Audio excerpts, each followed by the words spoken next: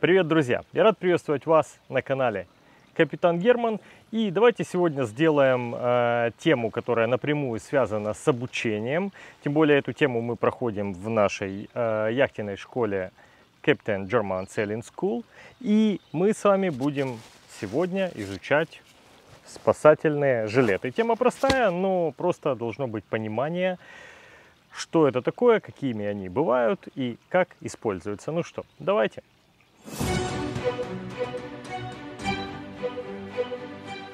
Сейчас у меня в руках э, обычный спасательный жилет. У нас их на лодке нету. Я попросил у наших соседей одолжить. У них где-то в кладовке еще такие остались. Но такими большими спасательными жилетами практически никто уже не пользуется в современном яхтинге, потому что это неудобно. Но тем не менее открыть и посмотреть, что же там внутри, будет интересно мне в том числе. Мешочек, в котором он хранится, удобный.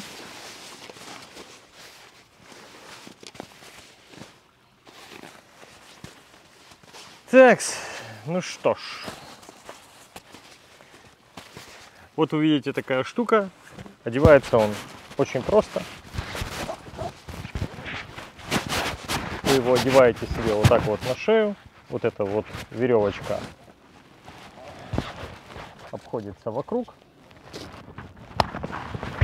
Вот так закрепляется и затягивается. У вас получается, на вас висит вот такой жилет а движение он сковывает и начинает душить только если вы руки двигаете вперед. Но на самом деле в нем не так, чтобы совсем неудобно. Э, на спине он, как вы понимаете, открыт.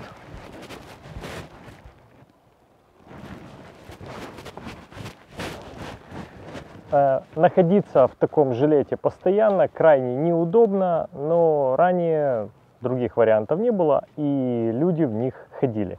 Но Давайте рассмотрим еще один момент. То есть для того, чтобы пользоваться этим жилетом, нужно дополнительный харнес, дополнительное устройство, которое вы одеваете на себя. И если вам нужно закрепиться где-нибудь в кокпите, то за жилет это сделать невозможно. То есть этот жилет нужен только для того, чтобы вы могли оставаться на плаву, если вы выпали за борт. Теперь давайте посмотрим, что на нем написано. А, это взрослый жилет, который э, подходит для людей с размером грудной клетки от 76 до 132 сантиметров. И здесь написано, что он используется near shore. То есть это жилет для, грубо говоря, вот вы там едете в динги, бросили их, и он находится у вас в тузике. Давайте сейчас перейдем к тем жилетам, которые в яхтинге используются чаще всего. То есть вот такой жилет. А, это называется не только Life Jacket, а еще и Harness. Одевается он очень просто. Вот вы его надели, потом застегивается пряжка. Вы далее регулируете его под себя. Естественно, он регулируется под ту одежду, в которой вы находитесь. Внутри этого жилета есть харнес и вот такой вот луп металлический, за который вы цепляете тедер. И вот им уже привязываетесь к лодке. Ну, об этом я расскажу немножко позже. Но пока э, вот такая вот история. Преимущество этого жилета, что вы его практически не чувствуете на себе он вам не мешает, и если вы упадете за борт, он автоматически срабатывает и надувается. Минусами этого является то, что э, у него есть механизм гидрореле и баллончик с углекислотой, который, собственно, надувает ваш спасательный жилет и вам нужно следить за его срок годностью, то есть у вас в лодке должен быть э, логбук, в котором вы записываете maintenance всего оборудования, которое у вас есть. И когда подходит к концу срок службы, то нужно менять либо гидрореле, либо баллончик. Ну, скажу я вам следующее. То есть у меня в руки попался жилет, который э, был 95 -го года, то есть у него уже срок годности вышел лет, наверное, 20. То есть мы его бросили в воду, и он сработал. То есть я не призываю э, к тому, чтобы использовать оборудование, которое вышло из строя, потому что, как вы понимаете, оно может как сработать, так и не сработать.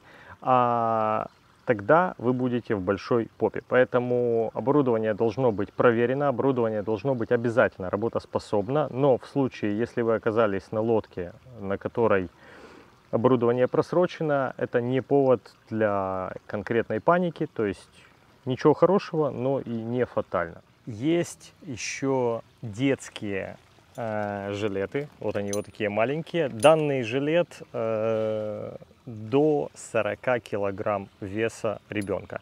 То есть нужно учитывать, если у вас дети на борту, для них подходят другие жилеты, и вам нужно, если вы едете на чартер, привести свой, потому что, скорее всего, э, маленьких не будет.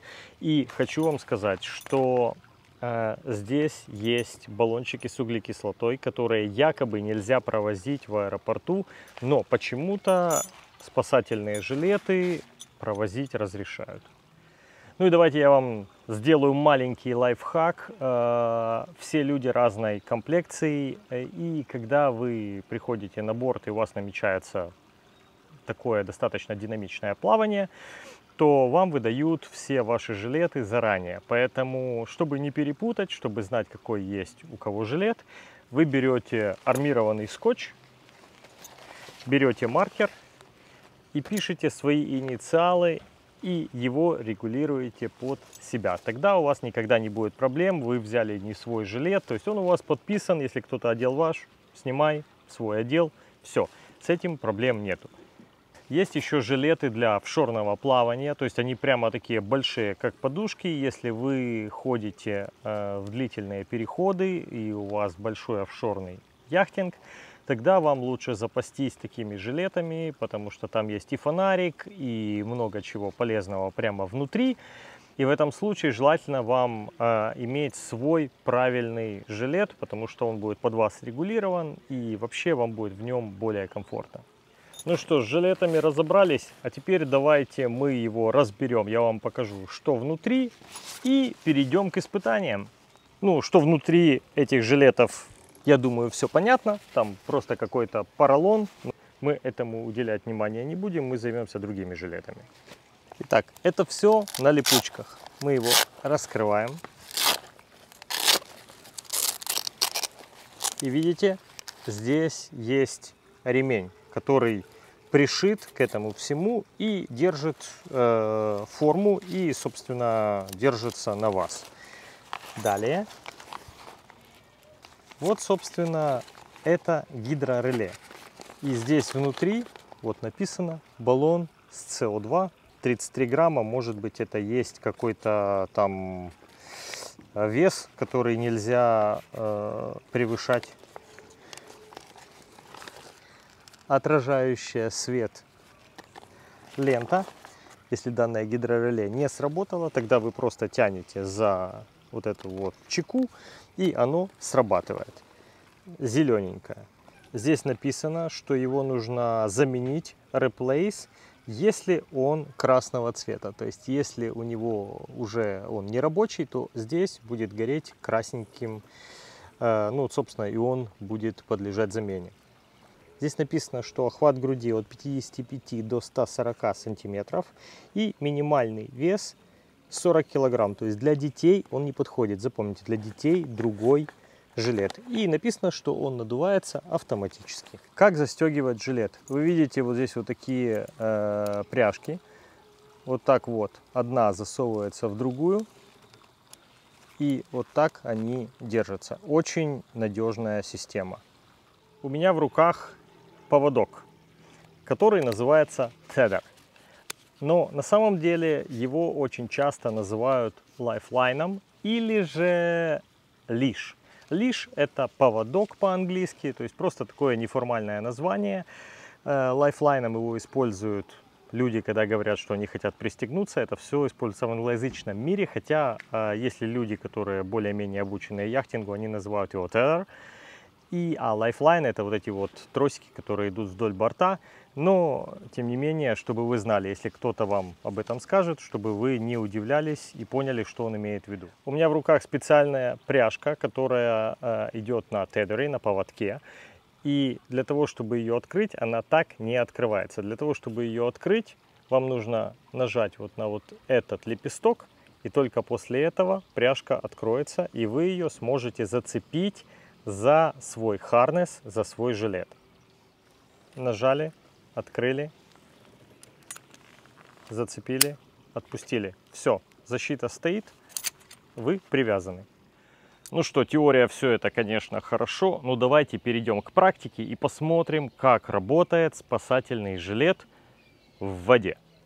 Ну что, переходим к испытаниям.